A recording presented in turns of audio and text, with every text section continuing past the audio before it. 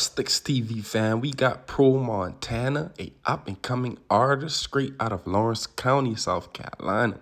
Now, before we get started, make sure you hit that like button, subscribe to the channel, and hit that bell notification so you won't miss out on this fire content. Okay, now, Laurens County has some very deep history. It was formed in 1785 and named after the American statesman Henry Laurens. Before the 1700s, Cherokee Indians inhabited the lands and used it for hunting and fighting grounds. Laurens County became famous when the 17th president, Andrew Johnson, discovered that Laurens County had the best tailor-made clothes. After the Civil War in 1865, Laurens County was known to have race rights and a large portion of the KKK resided there. Fast forward 100 plus years later, in the late 90s, Laurens County has become a hardy party and sports city.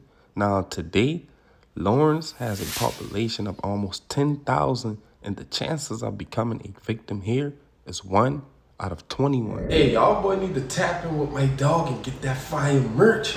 Yeah, Born and Geechee, he got those fire jackets that's just dropped. Yeah, he putting on from Charleston. Yeah, and, and those colors go nice with the Nikes. Those collars go nice with the Jordans. He got some of the best jackets out right now. And he putting on for Chelsea. Okay, now, Pro Montana was born in Laurens City, but he was always back and forth from Laurens to Clinton City, which both are in Laurens County. As a young boy, Pro Montana would live the average life most country boys live.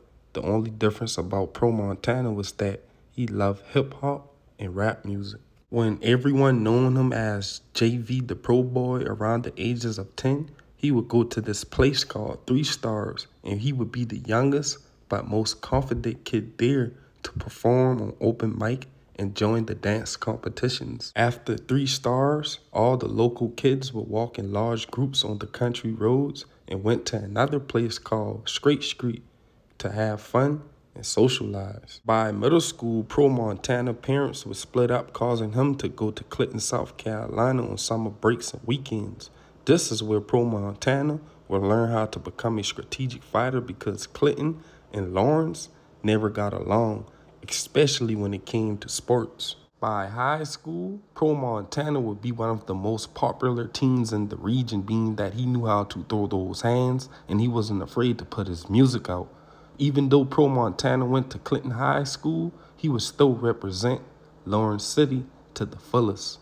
Pro Montana really started feeling himself a whole lot when Soulja Boy came out with Crank That Soulja Boy, and Pro Montana had the best remixes and dances to the beat.